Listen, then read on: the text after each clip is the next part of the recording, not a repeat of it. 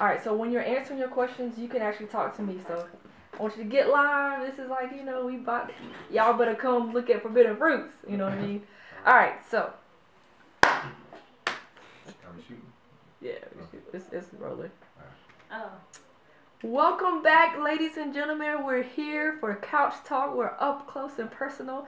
I have here Miss Octavia Miller and Steve Holmes. Uh, Octavia, let's start with you. Tell us a little bit about yourself and the character that you play with Forbidden Fruits. Well, uh, my name is Octavia Miller, and I'm 22 years old, and I'm a recent graduate of East Carolina University. I'm from a small place called Warsaw, North Carolina. Mm, it has two stoplights. No, Okay. that, that's about it. Uh, but um, my character is Skye Scott. Mm-hmm. and she's like that that girl. She has her own. She does her own thing. She's a photographer, but she's kind of stuck in this this love triangle thing. Like she's with someone and she really wants to be with him, but he's not exactly trying to put a ring on it right now. And she really wants to be with him, and so she's really focused on that. And then her ex from way back when comes back to town, and she's like, oh well maybe I do still kind of like Mhm. him. So if this guy doesn't Mhm. act right, then I'm just gonna, you know, kind of see what this is about. Okay. And I feel like we all kind of go through that at some point, you know, Mhm, and then she struggles with it just like your normal person does. But I'm excited to see who she's gonna choose and Mm. why. That that's gonna be the tricky part.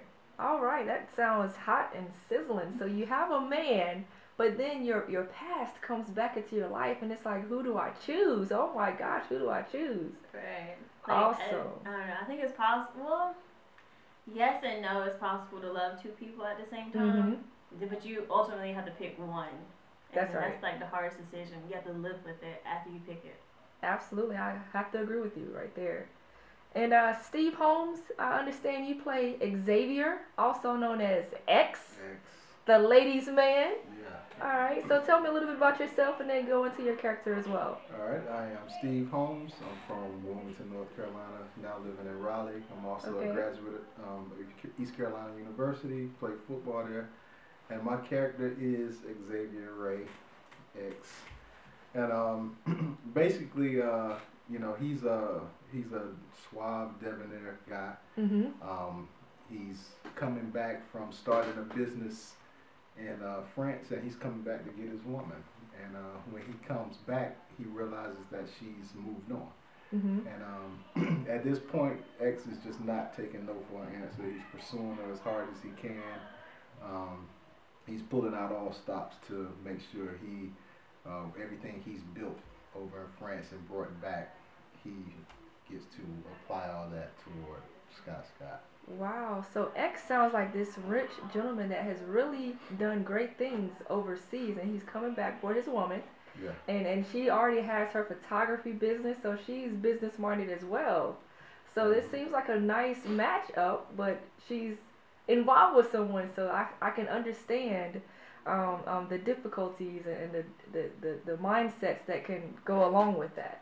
Yeah, and, and it's good because the dynamics of it is uh, we're all fairly wealthy, so um, Mm. either decision she makes, it, it has the potential to be a power couple. So it's a lot of uh, lot of things involved there. A lot of politics, I see. Well, tell me this: what is one thing that you would like your fans to know about your role uh, within Forbidden Fruits? Um, just the fact that uh, he's that guy that you love to hate. Mm. Um, you, you can love him because uh, you know he's that guy that um, every girl has probably fallen in love with. hmm And he's also that guy that has probably broken that same girl's heart for the first time. So, hmm um, you know, he's he's right there in the middle of, of love and hate. So, uh, I think that'll be the the really good thing about X. Okay, awesome. Was there anything else you'd like to add, Octavia, for your fans out there as they stay tuned and see which man you decide to choose? No, um, I mean, for the big part, I just want to really relate to people. So you know, like you're not Mhm. the only person going through that thing, you know. Because X will see me, he's like, mm, I gotta have her. And you know, Uh-huh, like, every uh-huh. girl wants to feel like, mm, he looking at me. yeah. Yeah. Yes, yes. And I mean, and that's really what she does. Like, she can walk into a room and everybody's like, mm. but she's like, you know, whatever. I got this guy. That's I might have that guy. I don't know. Hey, I mean, we that's what we do. We really do. Absolutely. So the emotions are high, the feelings are strong, and we're just going to see what happens this season on Forbidden Fruits. And so I do want to thank you all for taking time on Couch Talk. Ladies and gentlemen, you've heard it live right here. We are here with the Forbidden Fruits cast, and you can always find us at reignincorporated.com. That's R E I G N Incorporated, all spelled out, dot com. Octavia, Steve, thank you. Thank you.